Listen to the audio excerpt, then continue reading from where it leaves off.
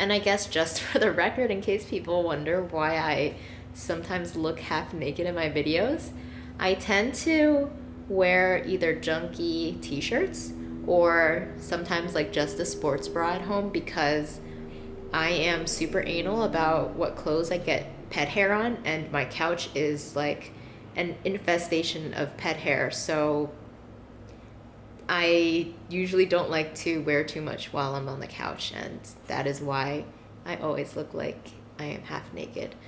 Okay, I'm going out soon to enjoy a meal by myself actually. So this is what I decided to wear. It is a dress and you know, I'm not going anywhere fancy. I'm just going to eat out by myself, but I really like dressing up, like I've said in the past. So I love fashion, I love all of that. It's just that I'm home all the time, so sometimes I don't get the opportunity to dress up and look nice. But even though I'm eating by myself today, I just thought that it would be fun to do it. It's not like dressing up takes a lot of time or anything. I just put it on. So I'm going out. Well, actually, so. cat room because the lighting in here is so much better than the other room, but here is my outfit. It's just a dress. And I'm going to wear my coat because it is cold today. I gotta put this girl in her crate now. Okay, so actually the past few days I have been wanting to go out to eat somewhere by myself. But today I was like sitting on my couch, I was watching Clueless, and I just really had that urge to go out. And um, why not? You know, I feel like sometimes I don't necessarily act on these impulses that I have.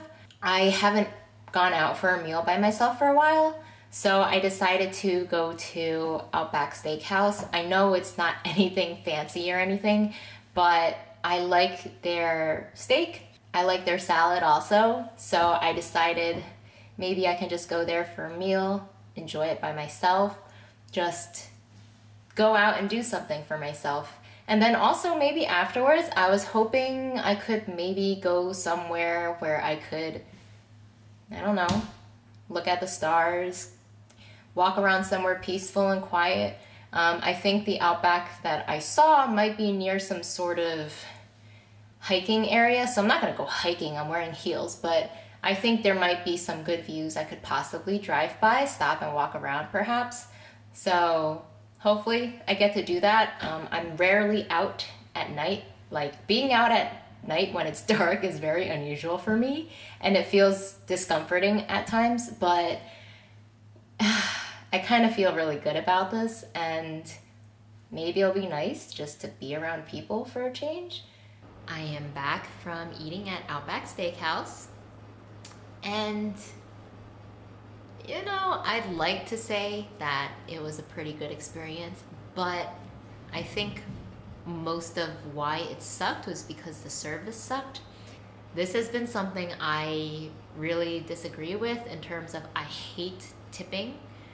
And if anybody wants to understand fully my argument towards it, Steve Buscemi makes a great statement about tipping at the beginning of Reservoir Dogs.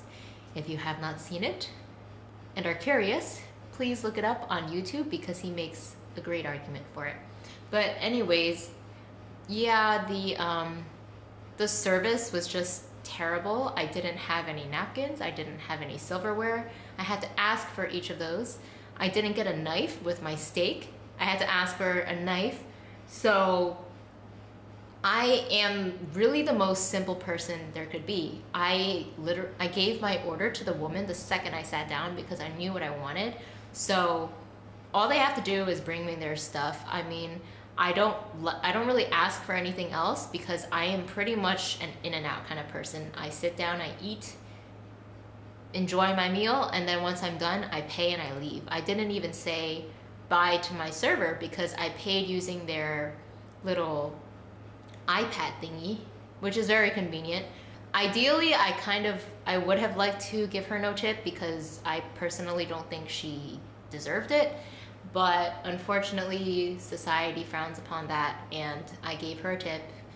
I gave her like 13%. I wanted to give her 10%. I wanted to give her 0%, but damn it.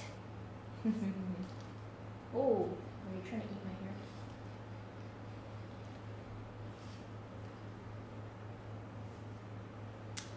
Are wrestling again. So let's see, a little overview of today. I went hiking. Uh, it was close to Eagle Rock and it was a hike I noticed on the side of the road while I was driving. So I feel like it's just the same thing every time I go hiking. Whenever I drive out there, I just feel an internal sadness because I see all these houses on their hills or all these houses that are like one mile off the side of the road and they have acres of land and it kind of makes me sad because I don't have that and I really really want it. I know that it's a really silly thing to be sad about because that sort of thing is obtainable. I just have to work towards it and I'm kind of young to have something like that, but I just I just feel like it would be so peaceful. There were so many views out there today which were beautiful and I always always imagined that if I had my own house and if I had a view like that that I could see every single day, my life would be so complete.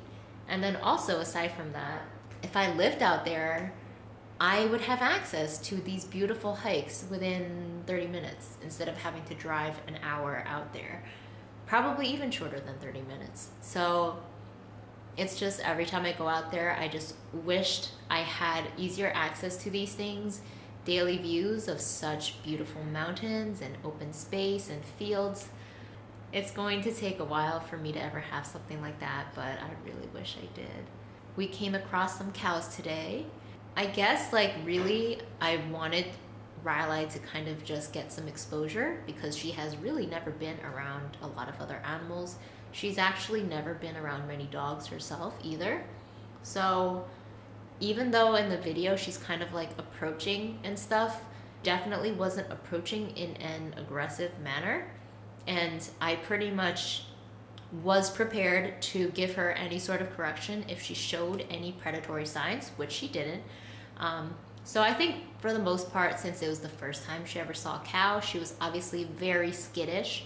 Sometimes the cow would probably make some warning gestures and then she backed off, which is good because, you know, if she didn't respect an animal telling her to back off, then that would be worrisome and I would definitely correct something like that. But honestly, I thought it was kind of funny because towards the end, I didn't manage to get it on film, but she did get a little close and then the cow made some warning gestures. And then she ended up like doing her little usual thing where she would kind of like be all high energy and running around. And I kind of felt like she was in a playful mode, which I thought was funny because here's some big, large animal that she has never seen before, and she's acting in a sense that she wants to play with it, knowing nothing about it. But I guess I kind of wanted to just give a little explanation about what is happening in the clip, just so people aren't getting the wrong idea that I am allowing her to get close and cause harm to the cow. Absolutely not. We didn't even touch the cows at all. We just wanted to approach and get close and take a look at them. Um, I have probably never been this close to a cow before, and honestly, it was it was really nice.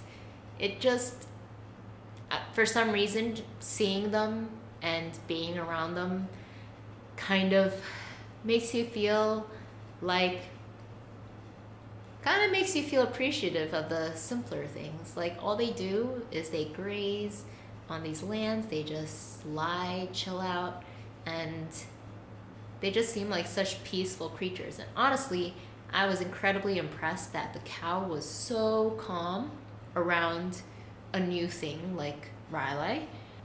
On the way back, picked up some pie because Julian apparently is well known for pie and cake. So I tried out this peach apple crumb pie and it was pretty good. Um, I don't think I would be much of a pie person though because just from that one slice I got kind of sick of it. Well, I hope everyone had a great day today. And you know, I don't feel like I did very much today, but that's perfectly okay. I'm just glad that I ended 2017 healthy, happy, and enjoying myself. Goodbye 2017 from Riley. Oh, by the way, quick mention she is turning two this upcoming week. January 5th, my baby is turning two. She is getting old. Puppers, you want to say goodbye to 2017?